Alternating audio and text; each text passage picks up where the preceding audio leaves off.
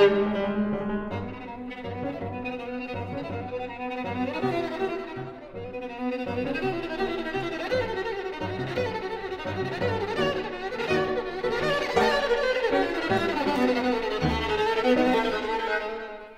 from Ravel's Sonata in G for violin and piano, performed by violinist Johan Dalene and pianist Christian Ihle Hadland. And Johan Dalene is our guest on the Gramophone podcast this week as he joins me, editor Martin Cullingford, to discuss his wonderful new album from the Bis label called Stained Glass. This week's podcast is brought to you in association with Wigmore Hall, where in the coming week you can hear two concerts from the Takács Quartet performing works by composers including Beethoven, Bartok, Haydn, and Hough, pianist Richard Goode playing Bach, Chopin, and Fauré, violinist Ning Feng with Paganini and Ysaÿe, and the Dunedin Consort taking to the famed stage alongside the viol consort Phantasm. For a full list of concerts, visit wigmore-hall.org.uk. Johan Dalene, the Swedish violinist, is a former Gramophone Young Artist of the Year and the recipient of Editor's Choices for the concertos of Nielsen and Sibelius and for his previous album with Christian Ihle Hadland, Nordic Rhapsody. To talk about his new release, I met up with him at Henry Wood Hall where he was rehearsing with the London Philharmonic Orchestra. So if you notice some music in the background, it's the LPO that you can hear. Johan Dalene, welcome to the Gramophone Podcast. Thank you so much. I'm very happy to be here. Thank you. Now, I think a nice way to approach this would be to explore the works on this recording one by one. So, without going into too much depth, perhaps you can begin with an introduction to the concept of the album, which is, I have to say, a fascinating, wide ranging, and needless to say, beautifully performed program. Thank you so much. No, so, I mean, basically, I didn't really think of a theme when I when I chose the pieces. I mean, you could say that there's a sort of theme with you know it's mostly like uh, early 20th century music um, and also later 20th century music, but uh, mostly around that sort of same time. Um, and uh, it's a lot of like impressionistic, uh, also neoclassical works were inspired by, by that. And uh, uh, but but mostly I would say it's just music that I that I love and that I played quite a lot and and uh, of course, I, I wanted it to fit together, but it's um, I think Prokofiev and Ravel are probably the two sonatas that I've performed most actually. but the stained glass is the that's the name of the of the one of the pieces by Bacewicz. It's mm. uh, Witraż uh, in Polish and stained glass uh, is the name and. Uh, I guess uh, I mean I didn't actually know what stained glass was until until I saw that uh, uh, the title for that piece. But I guess you could also say that it's sort of um, it's like a color palette of of each uh, piece on the album as well. Uh, that is like sort of the same but different colors uh, or inspired by the same uh, time, sort of. Yeah. yeah. it's a beautiful way of, of putting it. Now, the album begins with Fratres by Arvo Pärt, written in 1976 for no specific instrumental forces, though this for violin and piano has become a very popular way of yeah. hearing it. It's a set of variations on a chord pattern, sometimes very intensely driven, sometimes very still. What does the work mean to you? I, I absolutely love this this work. It's a bit too hard to in, inter, interpret uh, like uh, the title Fratres, which means brothers but I think I mean Arvo Pärt spoke a lot about time and timelessness, and and it feels like you can really hear that in his music. Also, it's very like this piece is very like mathematically structured. For example, every variation is like a seven, nine, eleven, and then nine, seven bar, and and every single variation, uh, and uh, it's uh, it's the same, you know. Theme going going over and over again but in, of course a lot of different way, ways and sometimes it's as you say like very still quiet and uh, almost meditative at points, and then sometimes it's extremely intense, uh, and sometimes it's just warm and, and, and, beautiful. And it's interesting with this piece. I mean, it starts. I think the beginning is it's so hard to, to, to get good, but it, it starts like so soft, incredibly soft, like it, it, comes from nothing, and then it also finishes like it, it just fades out, sort of. And in the middle, especially maybe towards the, the end of the of the middle section, is like you know the most intense variations. Uh, and yeah i just i just love uh, this piece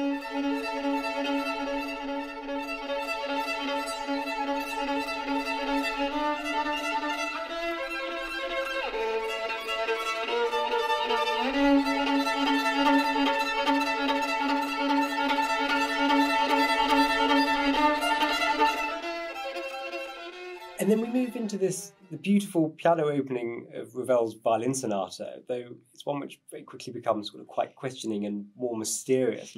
now, I read in the booklet notes that one of the challenges that intrigued Ravel was the basic incompatibility of the two instruments, yeah. violin and piano, which may be a surprise to those who love the vast repertoire for this combination. but what do you take from that? What do you think he meant by that observation? yeah, no, I, I mean, I, I guess. Uh, if you think about it, he's uh, he's right. It's very, I mean, two very different instruments in a lot of ways, and it also feels like maybe especially in the first movement, uh, it feels like he rather rather than like uh, uh, trying to to avoid that he sort of highlights highlights it the incompatibilities. That uh, I mean, of course, the, the piano has this beautiful theme, and then when the violin enters with the sort of same things in the long notes. The piano is dum, dum, dum, like it is quiet, but it works so so well, of course. Yeah, yeah, and, and then there's that really lovely central section entitled Blues, which stems from the fact it was written for a friend of Ravel's who shared his his love of, of jazz, and mm. and it's it's just lovely to hear you sort of step into that idiom and and the playfulness that that, that has. Oh, thank you. No, it's uh, I mean that's uh, one of the most fun pieces to play that that middle movement. It's very also also hard to to to get a good feeling in that, but it's I feel it helps to just feel like you're making things up in the in the moment, or try to feel like that anyway, and so that it feels spontaneous. And uh, uh, yeah, I, I don't play jazz at all, otherwise or anything like that. But I, I like listening to it. But uh, it's very nice to play something quite different from from yeah. what you usually would, would do. Yeah, yeah absolutely.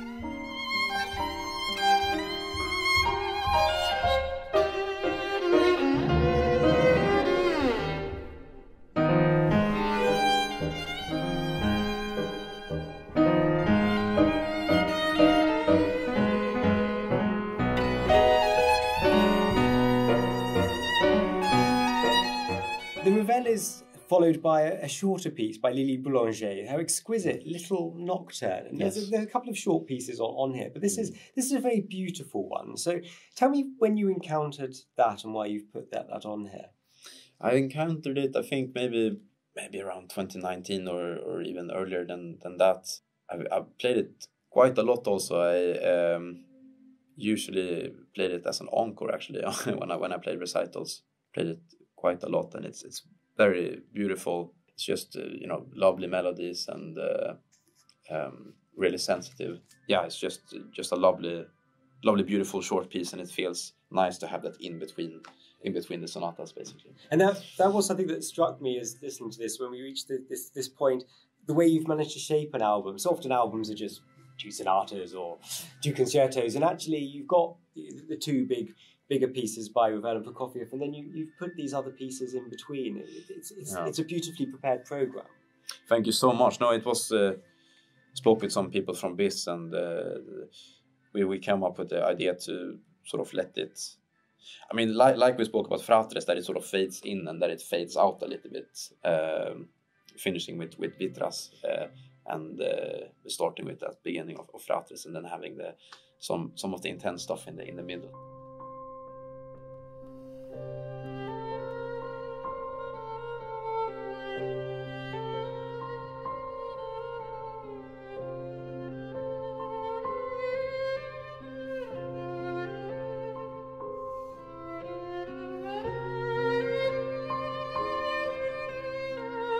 And then we move on to um, Prokofiev's second violin sonata. Now, this work began life as a flute sonata, written at an artist's retreat in 1943. So, during the horrors of the Second World War, though to my mind, we perhaps hear a composer here trying to find beauty and lyricism in the shattered world around him. The violinist David Oistrakh worked with Prokofiev on an arrangement for the violin, and it certainly feels perfectly embedded into the instrument's sound world. It, it, it plays to both the, the, the, extreme ends of what the violin sound can be, but it does feel very rooted in it. In it. Absolutely, absolutely. I mean, one can definitely hear that it is a flute sonata from the from the start. I think Prokofiev also described it himself as a sonata, like in a gentle, flowing classical style. I feel especially in the first moment you can you can hear that it. Uh, I mean, it's very elegant, and of course with that like Prokofiev twist hmm. that it hmm. always has. Um, but uh, it's almost yeah uh, feels classical, neoclassical, uh, and um, yeah, I think each movement has something totally different to say, which also is what makes it such a compelling sonata. I, I feel like, yeah. yeah.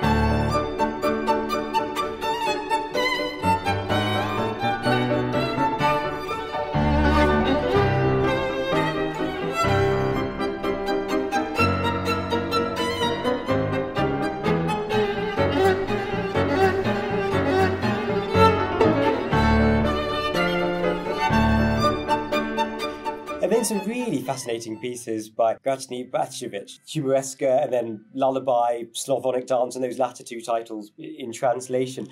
And here the Polish composer is, is really reaching into and depicting something of the sounds of her country's folk music. Absolutely. I honestly don't know that much about Polish folk music, but uh, uh, you can definitely hear that it has folk music influences, and uh, especially maybe the the Slavonic dance and the um, humoresque as well. Uh, it's very groovy and uh, um, dancey sort of, and uh, um, yeah, we, we chose. I, I played the humoresque and the kołysanka a lot before, uh, or not a lot, but a few times. But but the witraż and Slavonic dance are, are they were completely new to me, and I wanted to add. I felt like was too little with, with two pieces because uh, they're so short. mm. and she's, she's written a lot of pieces for violin and piano actually.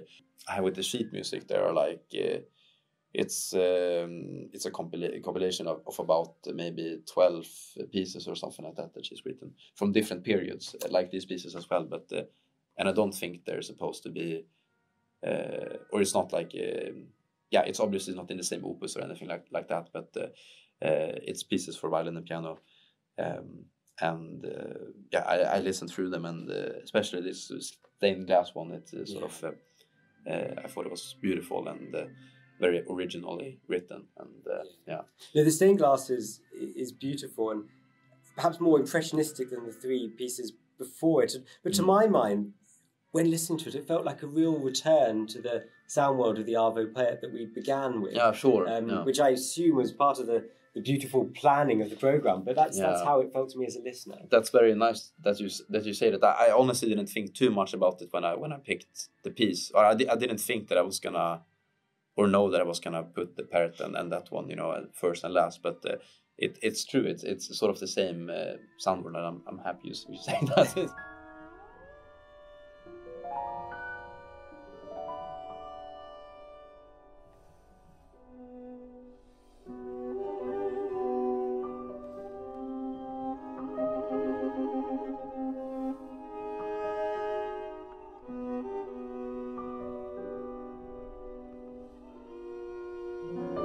Think we obviously must must mention that throughout this, there's this wonderful partnership with Christian Ihle Hadland, a pianist you've of course worked with mm. before to great acclaim in the studio on, the beautiful Nordic Rhapsody.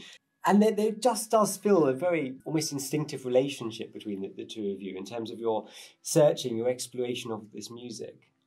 Thank you. No, it's uh, so he's um, yeah an absolutely incredible pianist. I I met him for the first time at uh, a chamber music festival in Norway in Stavanger, and it's fun because I, my parent or my dad uh, and my grandparents are from around that area, very close to Stavanger in Norway. Um, I'm half Norwegian, and Christian uh, is from Stavanger. Um, so I, you know, I've of course known for him. Uh, I probably would even if I didn't have relatives in Stavanger, of course. But I, have known about him for for a long time, and I've been a fan of his for a long time. And, and being at that festival where he's artistic director and getting to play with him was really inspiring. And uh, uh, yeah, I, play, I played with him. I was there 2019 and 2020, and especially in 2020, we, we played some stuff together. And uh, it yeah feels or has always felt very natural to play with him. Uh, and he's terrific. And uh, actually, one of the first thing, things we did together was record the Nordic Rhapsody album it was during the COVID year, sort of. We were supposed to do a few concerts before that, but uh, that never happened. So it was quite intense to go just record something together when we played together like twice before. But uh, he's just, uh, yeah, it's, it's just uh, so amazing to play with him, and uh, uh, I'm sure everyone who plays with him says that, you know. But it feels feels very natural, and it feels like I mean, it's very nice in those rehearsal situations where you don't have to talk too much I mean, it's it's nice to discuss the music and, and things like that, but it's also nice that you can just play and understand each other. Um, yeah, and not have to, you know. and often looking at recordings that have come out, you see these strong partnerships between a violinist and a pianist, and mm. that, sort of is a, a constant throughout people's releases and their careers. And sure. it's been nice for you to have found someone with two albums in now with working yeah. with him, where, where you've yeah. already got that sense of, of, of, of, relationship and momentum. I'm super grateful for. I mean, uh, yeah, also that he that he wanted to join for these projects. I'm super happy about it. Yeah, wonderful. Um, now, obviously, now by, by now you're building up a, a superb discography of, of, orchestral music, concertos, and and solo music. Where where are your plans next? Are there areas you want to explore? Particular composers you want to delve into? Yeah, absolutely. I mean, I, I want to record a lot of music. Uh, one of the the dreams is to record all Beethoven sonatas, but that's probably going to be some time along the uh, along the line. I only played five of them, so I have five left to learn. But I just I just love that music so much. I think it's just uh, so fresh and full of life and uh, spontaneity, and it's just uh, yeah uh, the best. And, and the Brahms sonatas, of course, as well but I mean, there's so much music that I that I love. But maybe maybe I will say I will say that the next project we're doing is uh, actually going to be a few virtuosic pieces for for violin and piano. So that's going to be interesting also. Mm. It's nice to play that when you're young. and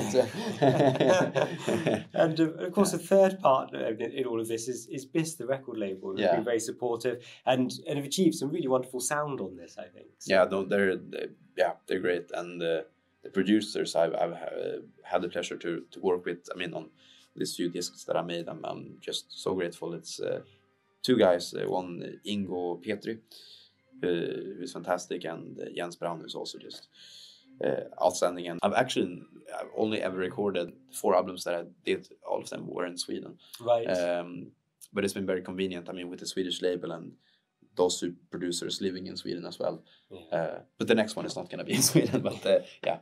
Wonderful. Well, Stained Glass by my guest today, violinist Johan Dalene and pianist Christian Ihle Hadland, is available now on the BIS label. Johan, thank you so much for joining me today. Thank you for having me.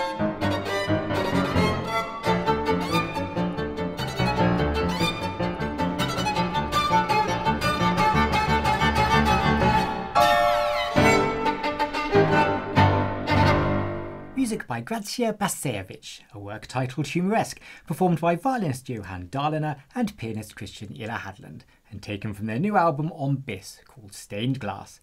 And my thanks to Johan Dalene for joining me today. Thank you too to Wigmore Hall for supporting this week's podcast, and for a full list of concerts at the acclaimed London chamber music venue, visit wigmore-hall.org.uk.